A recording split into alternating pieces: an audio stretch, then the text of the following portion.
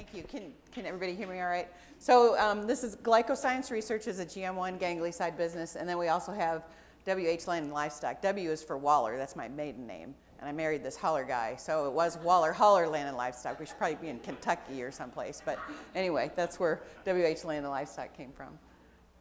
Uh-oh. There we go. Okay. So um, I'm going to take you on a, a, tour of the farm since I can't load you all up on a bus and, and take you to South Dakota. Who wants to go to South Dakota at sub-zero today? Um, but this was a tour we gave to the South Dakota sheep growers um, in September of 14. So we'll just kind of do a loop around the farm and get you better acquainted with our farm and with us. So here we are in White, South Dakota. Now, probably, we're not a typical South Dakota operation because as you can see, we're almost a Minnesota operation. We're pretty close and our our ground and our management issues are much more like a Minnesota farm, really, than a, a west, you know, for sure as you go farther west in South Dakota. So here's, here's pretty much what we started with. We bought the farm in 94, really didn't have a sheep type fence on the place. We came and looked at it in February and it was 37 below and two foot of snow. We didn't really know what we were buying. But um, we, so we, we started out in that first, and this is kind of, it's interesting because it's always been a grassroots project. This first barn, this one that we put up, we put up that fall of 94. And there's a little country church, if you follow this road this way, about a mile down the road, there's this little country church that we started attending. And, um, you know, they knew we were working on the farm and trying to get it set up for the sheep. And um, Larry and the neighbor had set posts for the, for the pole barn, and it got announced at church that we were having a barn raising party. so everybody bring your cordless drill. And so that barn went up one Saturday in the fall of 94 with the help of church members. So it's just, it's kind of been that, an interesting progress the whole way through. So it was basically most recently a hog farm. There's an old uh, farrowing barn that Larry came through um, with the neighbor and cut out the crates, and we used it as a lambing barn for quite a while. Um, a finishing floor. So I've got three pens on a hog finishing floor out here and a concrete pad. Um, and this is just an old cattle shed which should be torn down but is actually pretty useful, so we keep using it. Here's what we look like today. So this is a good reminder we've done something the last 20 years. so um, in 98, oops, you have to, we put up this barn. This gets used for a variety of purposes. I have a couple pens in there. We can uh, mixing pens, ewe lambs, market lambs, um, whatever we need there. We did re-roof the uh, farrowing barn that was a lambing barn for quite a while, and we have since outgrown that. It now raises bottle lambs, and this cattle shed is re-roofed, so, so they're there for the duration, I guess. In 2010, we put up this, uh, we call it the North Barn, um, and it has pens in there. It was basically intended for a facility for affected lambs uh, holding facility, and then it has a processing room on the, on the west end of it. And then more recently, in 2013, we put up the new barn. Um, we'd called this one the south barn, so that's a little confusing because now we got a barn farther south than that one, but it's the new barn or new lambing barn. At the same year, we also put up a, a commodity bay, uh, commodity shed with three bays in it, and so that's that's been really useful too. So um, because we are in eastern South Dakota, our land is very low and very wet. When we first bought the place, one of the neighbors said, you'll really like it in a dry year. I didn't know what that meant, but we have learned. So you can, goes hand in hand with wet land, there's parasites. So when we were out west, we'd graze the, um, in Idaho, we'd graze the clear cuts, the timberland in the summer, and then we were in central Washington in the winter. And I, I should say we, because I was um, part owner in about a thousand ewe flock, um, Targhee flock, Western Whiteface, and we kind of moved to where the feed was. So, see, Larry got a heck of a dowry when, because I had about 10% of that, 100, about 130 ewes at the time. So anyway, so we, um, we've had to deal with parasites. We hardly ever wormed sheep out west. I think we did lambs one year just because we hadn't done it in a while. But um, wow, within a month of moving to this farm, we were having parasite problems. And of course, we couldn't believe it. It's like, that can't be due to parasites. Well, I guess when you have a uh, pathologist in the family, he can tell you exactly what it is. So, um, so we've gotten to know Dr. Mike Hil Hildreth uh, real well here. Here's the, and it's it's bad when a parasitologist loves your sheep, by the way. so we have managed to um, get resistance to Dectomax and maybe to a lesser extent Valbazen. Um, so we've had to be a little creative. We can still use uh, Cydectin and levamisole, but we've kind of gone through the FAMACHA phase and, and trying all sorts of different things. Um, we, pretty amazing, I think the top, and then checking fecals also. Probably the top, if you call her her top you, but um, 40,000 eggs per gram. I mean, he loved us. The, the most amazing thing though is with the FAMACHA, because one summer, the hired hand and I, we would, we were FAMACHing on pasture. We'd pen up the ewes, FAMACHA, and then treat anybody that was anemic. Well, that you with the 40,000 eggs per gram was not anemic. So it is fairly amazing. So we have gone a little bit away from the FAMACHA. Um, we did last year, we, before we turned out, we did a three-way dewormer to try to clean everybody out because we had such a heavy parasite load. Um, that seemed to be really beneficial. Another major component is pasture rotation. Um, the farm, we have a couple hundred acres, and it's um, divided. I have um, about two-thirds, one-third, hay ground and pasture, and I, we rotate on a weekly basis because that's how fast those larvae, the eggs are going to be hatching out. So we're doing pretty well. The fecals that we collected this year were, they're a lot lower than they ever were, maybe a couple hundred. So I'm not sure we've got it totally figured out, but we're making progress. And I kind of learned that in the sheep business. You never quite get it figured out, but as long as you're making progress, you're good. This is um, Dr. Anwar Sarah uh, with Dr. Hildreth, and he's working on a PhD in parasitology. He's a Iraqi veterinarian, so pretty interesting guy. Um, so here's what we look like in the spring. We just, the grass is way ahead of us and um, we try to come through and, and graze and rotate. Um, the hay ground, we'll take a first cutting off of it and then come back and graze it second, maybe, you know, if we can get a third rotation through it. So it's a garrison grass, it's a creeping foxtail, and it loves water. So the wetter it is, the better it likes it. Um, and it's good TDN. It's a nice, it's a nice feed. It's a, a lot of leaf on the plant, so um, they do well on it. The, the trick is harvesting it, because usually you can't get into your hay fields until at least after the 4th of July, and, and even then it can be a little tricky. Um, uh, so here's, here's fall grazing. This is one of our Garrison grass hay fields. And these were seeded like in the 60s and the 70s, so it's amazing. It's amazing um, hay ground and, and feed for the sheep. Um, and you know, kind of sub-irrigated here. Here we are in the fall, and that's pretty nice grazing for the fall. So this is looking south from our farm. Okay, and here's, I thought I'd introduce you to the Border Collie crew. We've got uh, a young dog. She's actually Border Collie um, Australian Shepherd cross, so she's a little confused on how she's supposed to work. She's my first crossbred dog. So her name is Hope, or Hopeless, depending on how she's working. Um, here's Jake and he's kind of my middle-aged border collie. I can get a lot done with him, but don't ask Larry about him. He doesn't work for Larry, so they don't get along well. And then my old dog, she's she's 12, and I, I think deaf, but I haven't ever, you know. Sometimes she almost seems like she hears me, but she kind of just does her own thing. So that's kind of the crew, and just kind of a neat picture. Um, we worked with uh, Nicole Richmond with Strauss Meats, and she came out and kind of documented the farm for one of their family farmers for Strauss Meats, and I just thought that was a pretty cool picture out on pasture. And um, fortunately, kids got off the bus and they, and they were really helpful when they got home. I guess, you know, to have somebody videotaping and they, they work harder. Um, here's a, a, ram pasture that we have. It's just out behind the house in the trees. And boy, the sheep have really cleaned that up well. So we put the rams out there in the summer. And then in the fall and winter, they come back into a, it's a Hobart building. Um, pretty nice um, shelter for the rams. I like it because it's right up front. So I see the rams right up front every day, so I don't neglect them. They're not in the back corner of the farm. Um, I can fit pretty easily a dozen on each side. And here's this north barn um, building with the processing facility on it. So, and, and one thing, Larry's pretty much designed all these own buildings, and one thing that he's done is he's made them very versatile. So we can use them a lot of different ways. I've got outside pens, we've got, uh, we'll show you the inside pens as we go, and different size pens, and Here's the inside of the processing facility. So we have coolers.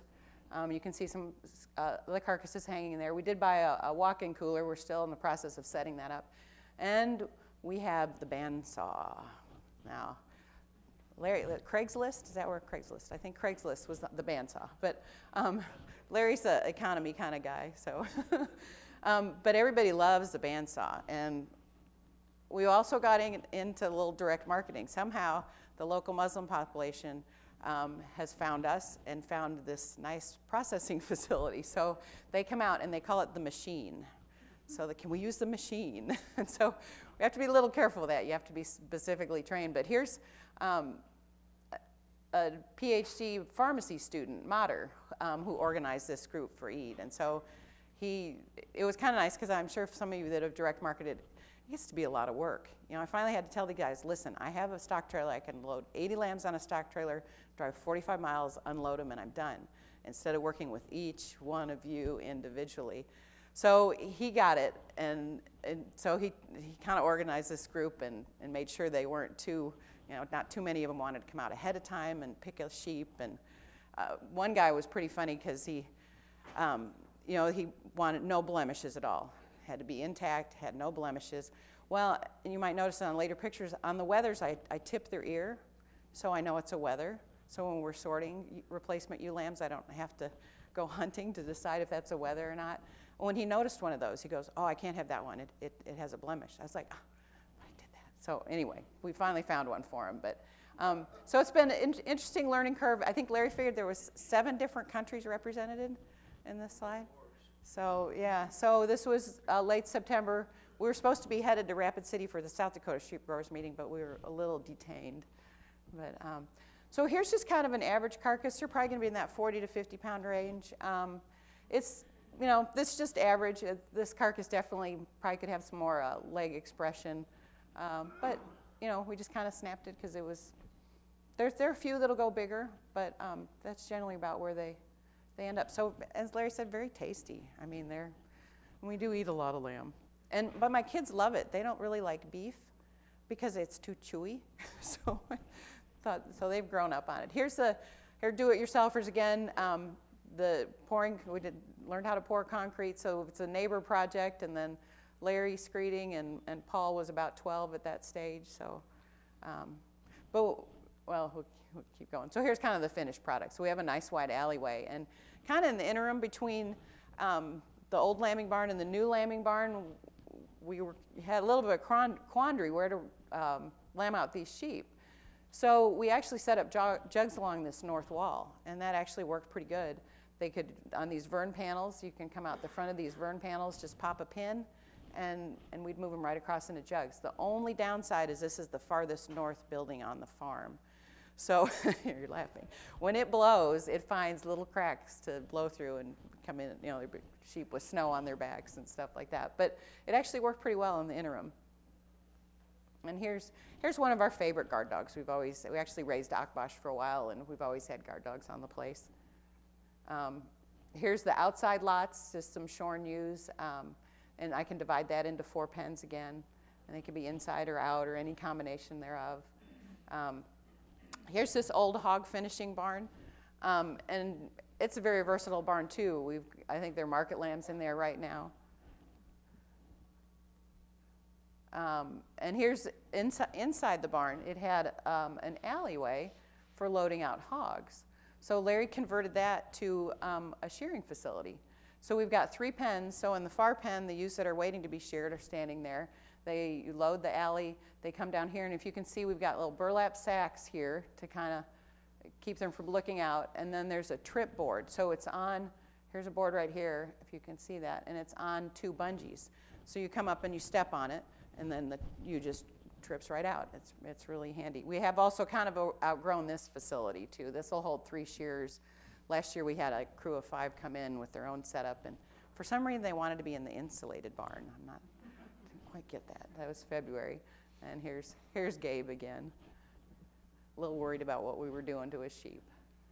Um, also, on just the south side of this barn, um, we have a in the summer we have a working facility set up. So this also is very versatile. I've got a couple oops, couple holding pens down here, and then they come through the tub and down the chute. They can go back out in the big lot, or I have three inside pens, or even a pen behind the barn. So um, there again, just gives you a lot of options. Here's, here's the feed alley attached with that barn, um, and these are yearling ewes in there um, in this slide. Okay, and these are and I, I had an older picture here of um, replacement ewe lambs from a couple years ago, and I, I said, I have to go take a new picture because we have done a lot of crossbreeding.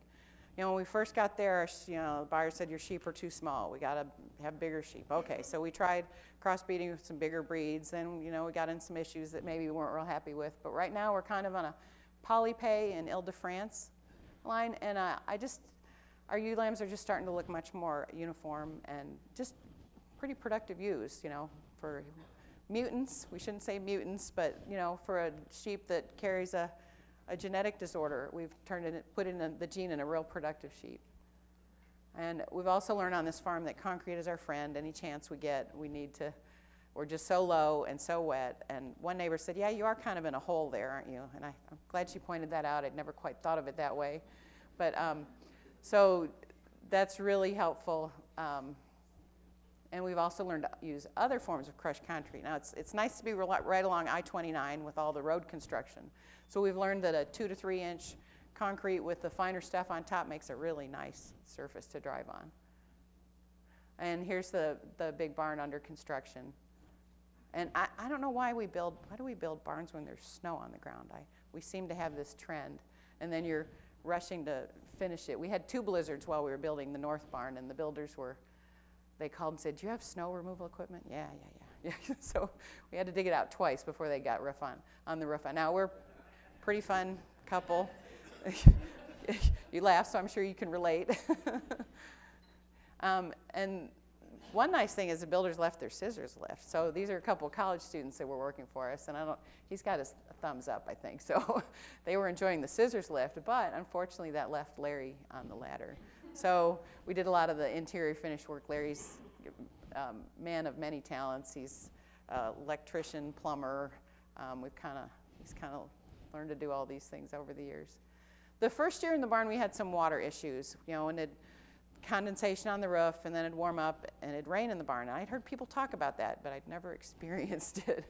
So the next year we put in a ceiling, and it definitely improved things quite a bit. So a vapor barrier, and then the steel, and then insulation on top of that. And here's here again, just versatility of the barn. This is the same barn, but I have outside lots on the south side.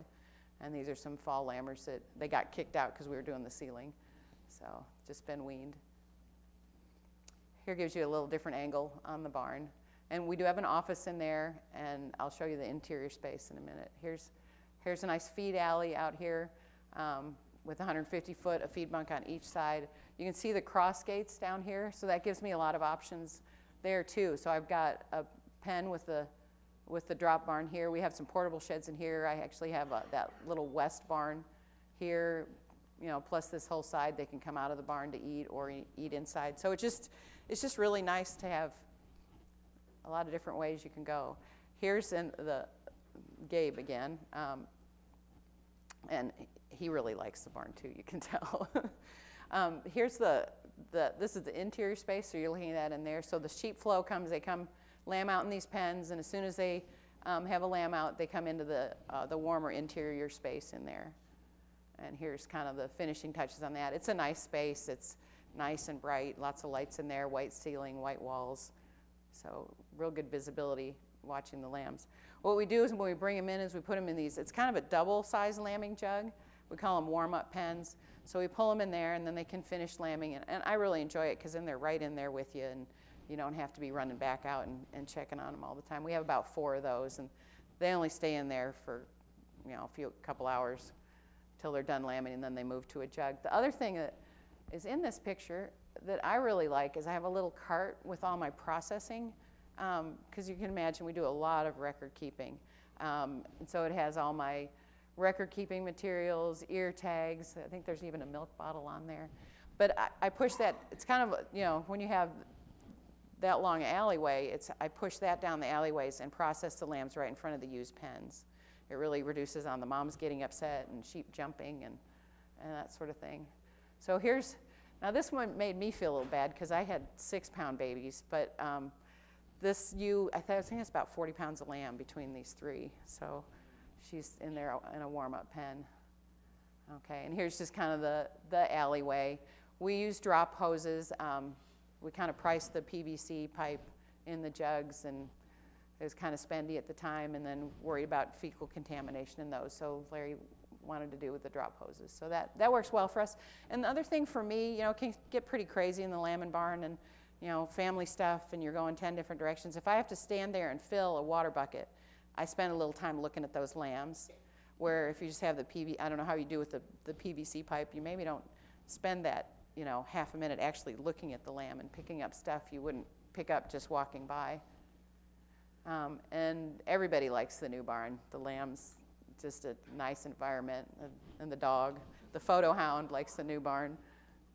Um, and then I just do this one in for all those parents that might relate to this. um, and so, and I think most of all the shepherds like the new barn. Um, it's just nice to be able to come in and have your drop pens and your lambing barn and your mixing pens all in one location. That it took us a while to to get to that point. And these are spring lambs in South Dakota, even though it doesn't look very springy. But after when they're about a month of age, they'll move out to the. We have to make space for the next ones coming up, so they'll move out in into an ex, a barn with an exterior lot. Either that north barn or this is the south barn here, in group groups of about 50 ewes. And um, here's my favorite bottle lamb feeder. and um, we, we've gone to putting, um, there was a, a, putting lambs in raised pens. So we got this idea. It's just a farrowing crate, the mesh floor that was salvaged from a uh, pig farm. And um, I put about 10 bottle lambs in here. It's nice because it's, it's raised and it's on wheels. I went and visited another farm and I saw these pens and, and you know, I said, how do you clean those out underneath those? And she had to admit it was pretty awful. So actually the neighbor said, those need to be on wheels. So we really enjoy that. You just push them out of the way, scrape everything out, and go again. And right now we're feeding with uh, buckets, the Premier buckets, but um, we're hoping to switch to a Lac-Tek machine. My, my milk replacer mixer person is getting tired. His wrist is bad, so we're thinking about going to a Lac-Tek machine. Now, I invite you to the farm anytime, um, but be aware that we do tend to name bottle lambs after visitors. So this is a good friend of, of Larry's that stopped, and and Bobby and his mom, Mary. So we had Bobby and Mary. Um, here's a commodity shed, and, and you can see the, the bale yard. As you go out here, we have bale yard. Um, this has been really useful for, you know, sometimes we have distillers grains in, or soy hulls, or um, corn stalks, or, you know, whatever. It just gives us a lot more opportunities. And we do feed with a, a feed wagon, um, double screw. And, and that's, that's really nice. The uh, really uniform, but boy, if it breaks down, we all panic. Um, the last three years, we've done corn silage, so that's been a nice addition um, in the ag bags. Um, and then since about two, we hay about two thirds of the farm. So, um, you know, here's our Vermeer haying equipment, and um, these Mr. eBay over here. These are eBay purchases. He managed to get those bids in before they really put reserves on equipment, and somebody did it at a busy time of year and didn't put a reserve in, so got a good deal on haying equipment. Um, this New Holland tractor is also an eBay purchase. um, there's my son driving it, and he helped his dad. I think he was in grade school when they were bidding on this online. So, um, and of course, a manure spreader. Spend time cleaning out barns, and another piece of equipment that we just can't do without. Um, we haul buckets. Probably use it for stuff we shouldn't. Haul corn buckets and all sorts of things. And that's another one that if it goes down, everybody panics. Um, we used to have the feed truck come out with kind of a corn pellet mix, but then um, actually was year I was feeding distillers grains. I needed to be able to mix it on the farm. And so we bought just an old grinder mixer. It doesn't do a great job grinding. Um, so if I need cracked corn, I still have them bring out cracked corn. But great job mixing and delivering into either Bachmeyer feeders or Shenandoah feeders. So we really like that. And I do have two of them because they're old and they break too. So we were, I think we were mixing feed in a skid steer bucket one time because it went down and that, yeah, that wasn't a lot of fun. So made sure we had, next auction we went to, we got a second one. And here's, sometimes it's tough living with a college professor because anytime you do anything, you have to have the lecture and then that's followed by a demonstration and then you have the lab practical. So um, we, we do trim feet every year. One, because foot rot scares the heck out of me. When I was out at University of Idaho, we, they were trying to clean up a foot rot mess, and I, yeah. Um, and also because we're so low and so wet, those sheep feet never wear down. So we're much better off just to trim everybody before they go to pasture and, and then do a lot better during the summer. Um, we've had guard dogs on the place almost all the time we've been there, with the exception of about four months. And boy, they are opportunists. They moved in. Um, our, we had a guard dog, and she was weighing in at about 130 pounds because she came across the scale when we were sorting lambs. But we get a lot of semi traffic on our road because we have a big dairy unit and a big hog unit just past us. And they hit her right at the end of the driveway. It was, it was really sad, but boy, it didn't take these guys long to move in.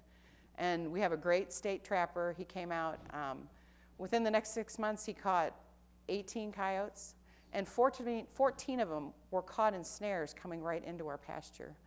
I, I just hard to believe. So, and then we do a lot of butchering, so they kind of know know where that happens too. So um, I've got another couple young Akbash started, and I, if I have to, I'll, I'll, I'll, outnumber them. We'll have more guard dogs than coyotes.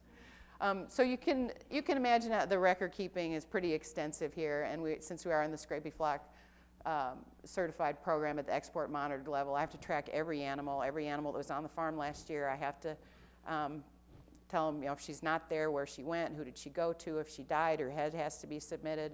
So there's a lot of record keeping, and we've been doing it just on paper. Um, and I do have a database I use.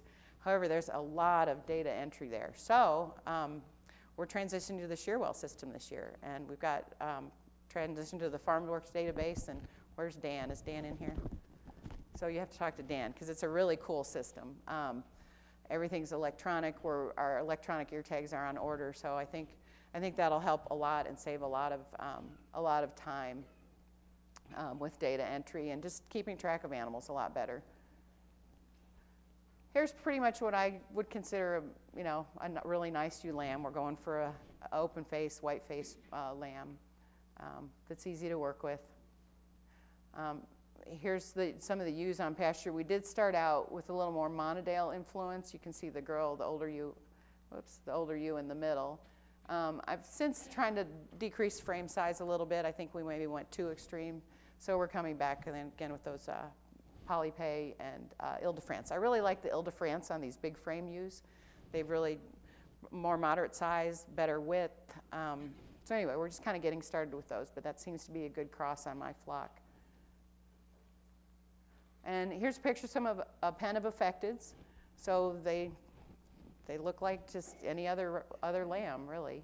Um, I've had feed salesmen out there and I said, so you can tell the difference between this pen and that pen. And they say, well, they're maybe not running around quite as much as the pen next to them. But other than that, there's really not a lot of difference. Here's, I'll let you do the video. Here's some that are on the farm right now. I just took this video this week. And the, the, the mark on them, there's three affecteds in this pen. So you'll kind of see them move around. And these are September lambs, so they're 100 days of age. So, and, and these guys, maybe they're toward the smaller end of this group, but that's, there's a wide range in affecteds just as you would have in any group of lambs. And go ahead on that one. These are some lambs that um, we'd already harvested most everybody else, and these are two that are left that I took um, a little of. This one, you can see she's having a little bit trouble getting around as that GM1 really builds up. This one, I'm this girl right here, I'm not sure you can really even tell on her. She's still moving really well. But that's kind of what you'll notice some kind of in coordination, just moving a little differently than a normal lamb. And I've had sheep producers say, I, I can't tell the difference. So that's kind of the goal. We want them to look like just any other sheep.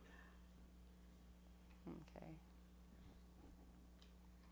Okay, now a little bit about the shepherd's gift. And this was kind of inspired by a, how am I doing time wise? Oh, okay, we'll make it um, by uh, the Hanson family came to the, Larry presented at the South Dakota Sheep Growers meeting, and the Hanson family came. And um, wow, their family, and Caitlin is the one, she's 24 now, that has a juvenile form of HD. And what an amazing, brave young woman. So they did a roller blanket auction for Caitlin that night at the auction, and um, that was the seed money for the shepherd's gift. So uh, the IRS paperwork got filed soon after that, and by spring, we were a nonprofit. And I, I shouldn't say, you know, this project, the, the board members for the project are HD families. Larry and I are not on the board. And here's, here's Kate. And um, it's been so hard in the three years that we've known her to see how this disease is ravaging her body. Um, in high school, she kind of started to, she was an A student and suddenly, you know, wasn't anymore. Things were getting harder. Um, and at 18, she got tested and was gene positive. Now, um, not all pregnancies are planned. She didn't plan to have a little girl, but Nevaeh, which is heaven spelled backward, is the most adorable. She's three now, little girl you could possibly imagine. And Tara, her mom, um, is on the board of directors for the Shepherd's Gift, and this is Mike, her stepdad, and he's a pretty amazing guy too. Um, here's since Kate was diagnosed at 18, she didn't qualify for a Make-A-Wish trip. So Tara works for a veterinarian um, in Iowa, and they work with a lot of pet breeders. So the pet breeders sponsored a trip. Uh, this was just this last year to uh, to Florida, to Disneyland and SeaWorld. And she's got three amazing little. Here's her her full brother Mikey, and he was kind of struggling with the possibility that he would have Huntington's. Um, got tested and, and, did not. So now that you know that adds a whole nother thing to family. Here's his older sister that has it. He doesn't have it. Um, you know, I'm sure Mike could address that too. And then she has three little stepbrothers. They call these guys the Button Boys. Um, and they sell buttons and jewelry. Quite a bit of my jewelry is from the Button Boys. um, to raise money for uh, juvenile Huntington's disease research and, um, and to help to help Huntington's families. So, and I'm glad they got the trip when they did because I don't think Kate will be able to travel anymore. When we saw her in October, it, um, it's really getting hard for her. And here's here's Landon. So when they came out to the farm, they wanted to donate some money to the sheep project, and that's so we said, okay, pick out a ewe, and so that's Landon's ewe right there. So we send him lamb pictures, and he gets pretty excited. Here's just a, um, yeah, just kind of a tough picture to look at to know that this little girl is going to lose her mom in not too many years from now. And Kate's just, and the hard thing about Huntington's is you can, um, it's hard for them to talk, but you can, they know what you're saying. It's just really hard for them to communicate. So you can sit there and she can give me one word answers. But um, it's, yeah, just to see what she's going through. And with the juvenile form, she, there's more rigidity. She had a lot of shakes and um, she's getting really tough. So anyway, um, the Shepherd's Gift organizes the first annual um, Shepherd's Gift golf tournament down in Sioux City, Iowa. One of the, uh, Kate and her family were there and another family I was there. And it was the end of October. It was just a beautiful day. Everybody just really had a good time. I think we had 84 golfers.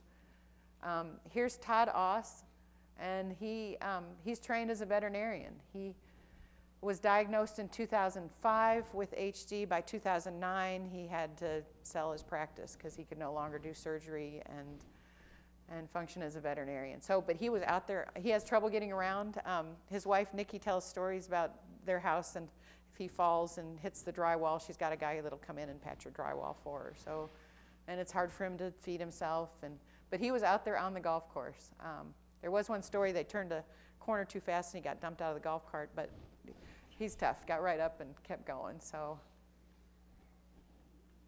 and here's here's his family, and this is his um, it's his young younger sister Robin, and she is already in a nursing home, and um, they brought her out for the evening dinner. They had to feed her. She cannot hold her head up by herself. Um, so pretty, yeah, just such a devastating disease. So here's, this is Todd's mom, and she lost her husband to HD, and now she's going to lose both children to HD. I, it's just beyond comprehension. So, um, anyway. And here's another family. Uh, so, Nikki, in that last slide, Nikki's on the Shepherd's, Shepherd's Gift Board. Here's Tricia, and she, um, she is also on the board. Now, um, this is her mom, Anna Hilton, and she has passed away. Um, she was one of 10 children. They had no family history of HD and knew, kind of knew something was wrong, kind of like Mike was talking about. And then they got the diagnosis of HD. And Tricia said since she was one of 10 children, and they, you know, those kids were, you know, in their 50s, I think she was diagnosed. So already had adult children who had children. So as Tricia puts it, that one single diagnosis for her mom was stunning, and that's certainly not in the good way. Now Anna has four children. Um, we know that three of the four have been tested, or, and three are gene positive. I don't think we know about the fourth one. So that was really tough for Tricia to go public with her gene status. Um, you know, there's a lot of implications there. She said, got to deal with insurance stuff and, and some things before I, you know, really try to promote, you know, what we're doing and, and be an advocate for HD. So here is, here's Tricia has um, three kids. Um, let's see, one, two, and three. The oldest girl is adopted from Mongolia, but the other two are biologic. And then these are cousins. Um, her brother's two girls, and he is also gene positive. So in this picture, we have four beautiful little girls that are 50% risk of getting HD.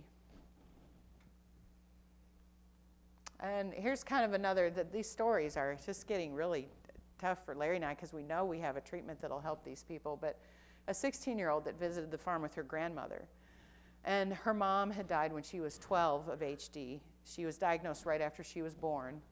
Um, and her grandmother had kept her mom at home and taken care of her till she passed away. And at 16, she was really struggling. She didn't know if she had it, um, since the recommendation is not test till 18.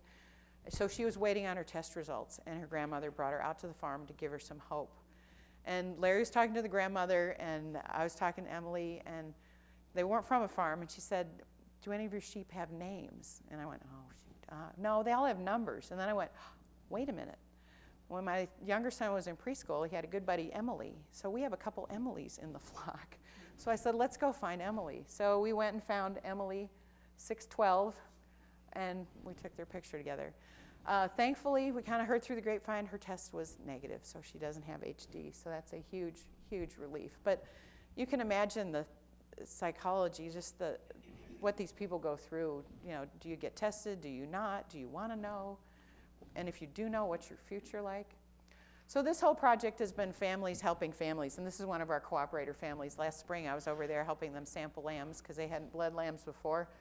So it's uh, Terry and Mary Ness, and um, they were about ready to retire from sheep production. They thought, you know, this is a lot of work. We want to spend more time with the grandkids. But Mary has a classmate of hers that's already in a nursing home with HD. And so they were really motivated. They called this, they have three, they have four daughters, three of them are here and then a son-in-law, and they called everybody together and said, if we're going to do this, this has to be a family project. Do we want to do this? And pretty unanimous, they said, we're doing it. So that's kind of their story, and it's kind of amazing that, you know, the dozen or more cooperators we have so far, their stories are all pretty similar to that. They're really doing it for the right reasons and to push this forward to, to get a treatment for people who desperately need it. And that's about it. Did I make it? Yay, I made it. so any questions? Uh-huh. There was three groups of lambs. There was affected, carriers, and then non-affected. Right. Well, there's normal, which would be a homozygous uh, dominant. Is that the right way to say it? Um, so they would. That's just a normal sheep. If sheep are normal, that's a normal sheep. And the carriers and the normal sheep, do they get to go through the normal meat Mm-hmm. Yeah. Correct. process? Yeah, because the, the carriers are a heterozygous, so they still have some of that beta galactosidase enzyme to function normally. So they, they just carry it. They're a, a yeah, asymptomatic carrier. Yeah, They can, They're normal. Percent of the lambs are affected lambs. okay. well, kind of, if I breed carrier to carrier, I should get 25% affected. And then the affecteds are the ones, you know, that we harvest on the farm that, okay. And, and their tissues, you haven't really talked about what tissues we collect, but And we didn't really talk, you know, there, the, the reality going forward, there's a lot of reproductive technologies and actually other Yeah. genetic technology Here. that we can use. Anyway, other genetic technologies uh, to actually increase production. Uh, The reality is that ovine, or GM1 gangliosidosis is actually a human disease. And actually, as we speak, they're developing a treatment for GM1 gangliosidosis, a genetic treatment that could be applied uh, directly to this project. Uh, if you were to take a ram who is genetically affected with GM1 gangliosidosis, you can actually replace the defective gene and create an animal. You- You'll be doing most of this in utero or, or shortly after, but basically create a, a genetically affected ram who's clinically normal. And then all of a sudden, we would double the number of lambs, affected lambs, that we could use for the project. So in connection with that, Larry, is there any possibility of collecting semen from these homozygous five-month-old rams? We've had uh, lots of discussions of what kind of, actually, I'm good friends with and do a lot of work. Uh, I'm for Transova Genetics. I don't know if any of you have heard of it. It's a uh, primarily a cattle genetics uh, firm in Iowa, but they also do a lot of sheep stuff. And so there is a lot of genetic technology that could be applied. You could potentially harvest semen uh, from the testes of, of these affected rams. Probably more efficient would be to go after oocytes from the, the ewe lambs, splitting them. Uh, Transova, uh, you know, their, their approach was we'll just clone them. You know, theoretically, you could take and create a cloned individual, an affected clone individual. And, you know, what I, I have kind of my own bias. I, I, I embrace technology, obviously. I, I'm a proponent, but the, the reality is that, you know, that these, these technological approaches, in my mind, are only a partial solution. I think we as an industry, through normal production channels, can be the major port of producing these animals, and then we use technologies to make our producers more effective. yeah.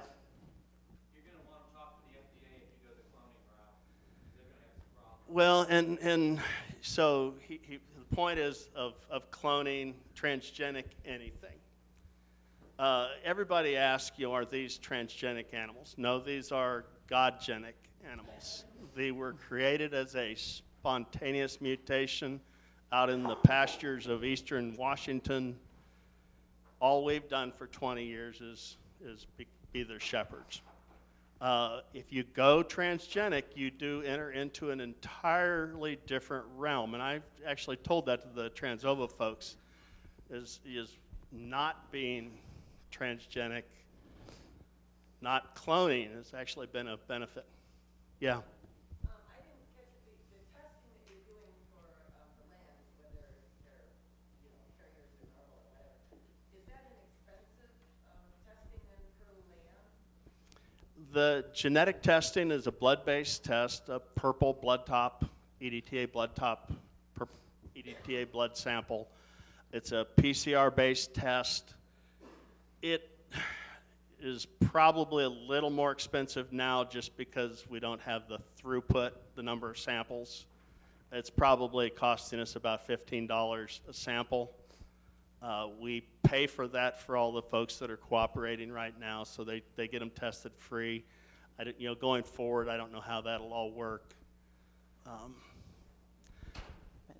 One, oh, yeah, just one comment Larry mentioned about the sheep industry improvement grant that we, you know, we really appreciate that. And um, we also did get some grant funding through the Let's Grow um, organization. Alan's here today, so we really appreciate that. Well, we realize that just we need to promote this project more, and that's why we're videotaping today um, to get the word out a little bit more. But we just really appreciated the backing from sheep producers and, and you know, the groundswell from the industry. It's, you know, it's families helping families, so it's, We're going to have to move along. Let's uh, give a round of applause to the Hollers for their